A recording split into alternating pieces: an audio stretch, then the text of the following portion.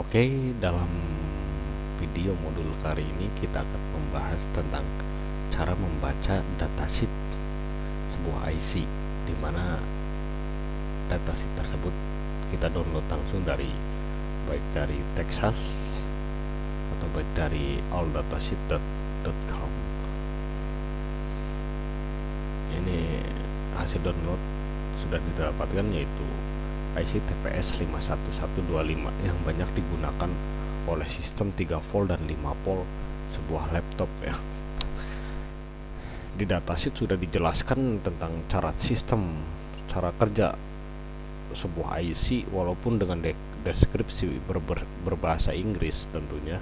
Kita bisa memanfaatkan media Google kembali Google Translate dengan cara mengekspor dari PDF ini ke Word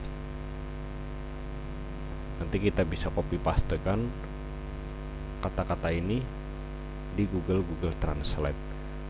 Ini deskripsinya ini fiturnya yang kita akan jelaskan di sini adalah istilah-istilah yang terdapat dalam pin-pin sebuah IC seperti VO1 power good atau power clock, PCLK, VO2, ini LL2, ini P-in, power input, ground, semuanya sudah terdapat di dalam sebuah datasheet, datasheet komponen, yaitu di device information, device informasi, seperti power in power in voltage nya supply inputnya for 5 silakan anda lihat. 5 volt 3,3 volt. GND artinya ground. Power regulator 3 artinya 3,3 kurang 3,3 kurang artinya tidak ala tidak melebihi 3,3 volt. Kurang dari 3,3 volt. Power supply output output adalah output adalah keluaran input adalah masukan. Jadi input adalah masukan tempat masuk tempat masuknya atau bisa kita aplikasikan input adalah sumur output adalah keran keran airnya. Jadi input adalah sumbernya output adalah keluarannya hasilnya. Ada beberapa deskripsi di sini nanti bisa anda pelajari sendiri yaitu datasheet datasheet baik dari www.aldatasheet.com atau dari Texas Instrument atau dari situs-situs lainnya yang menyediakan penjelasan-penjelasan detail tentang sistem kerja atau sistematika sebuah komponen. Kita cukup memberikan kuncinya. Kemudian silakan anda kembangkan sendiri. Ini ada aplikasi informasi juga seperti PWM operasi oh sistem operasi sistem operasi PWM tipikalnya aplikasinya deskripsinya.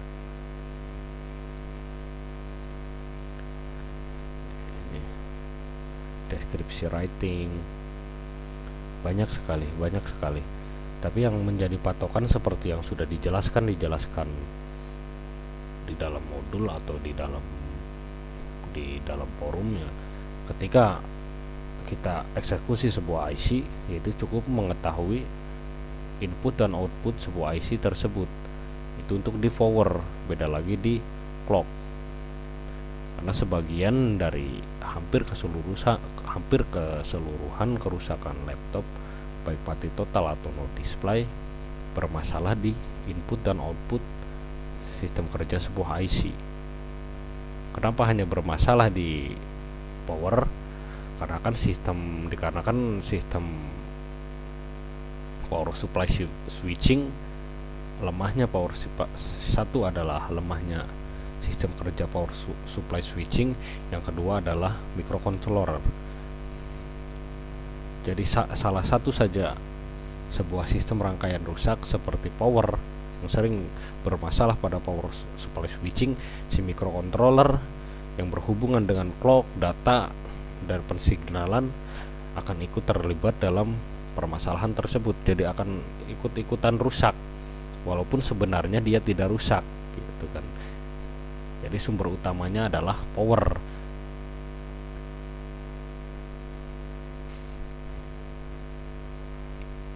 Oke, sekian dan terima kasih. Sekilas tentang cara membaca datasheet sebuah komponen yaitu dengan menentukan deskripsinya terus elektrikal karakternya tipikalnya aplikasinya dan fitur-fitur yang terdapat dalam sebuah datasheet selebihnya bisa kita kembangkan lebih jauh lebih dalam lebih spesifik mungkin dengan cara mengcopy mengcover ini terlebih dahulu ke dalam bahasa Indonesia atau yang sudah mengerti bahasa Inggris akan lebih mudah ya. Dalam mempelajari sebuah sebuah datasheet komponen. Di sini juga perlu diketahui adanya fungsi blok diagram. Fungsi blok diagram dengan menggunakan simulasi gerbang logika. Ya. Ini kita melangkah ke elektronika digital sebelum melangkah jauh ke dalam materi elektronika digital atau digital system karena digital akan bermain dengan sistem robotik dan sistem simulasi rangkaian otomasi. Cukup bagi kita para teknisi adalah mengetahui sistem kerja komponen dan mengetahui baik tidaknya sebuah komponen itu sudah cukup mewakili.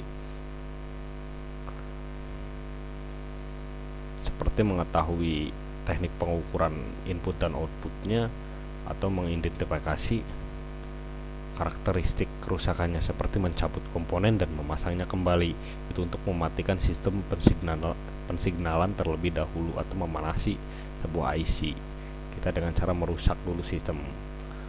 Itu bertujuan untuk merusak dulu atau mer mematikan sistem pensignalan yang terdapat dalam dalam motherboard. Dengan teknik cepatnya kita bisa mencabut baterai CMOS ya walaupun dalam beberapa detik kita harus menunggu beberapa detik beberapa sekitar 10 sampai 5 detik tanpa ditekan on on off dia akan terus sistem akan terus berjalan. Lebih bagus kita langsung memanasi sebuah IC tersebut atau resoldering ulang dan cara karena ketika proses resoldering ulang berlangsung tanpa kita sadari kita mematikan sistem pensignalan yang terdapat dalam sebuah IC mungkin itu jawaban adalah kenapa sebuah IC kita perlu panaskan selain dengan mengurangi dampak timbal atau rusaknya solderan sebuah komponen sistem pensignalan pun menjadi faktor faktor utama. Oke, sekian dan terima kasih. Wassalamualaikum warahmatullahi wabarakatuh.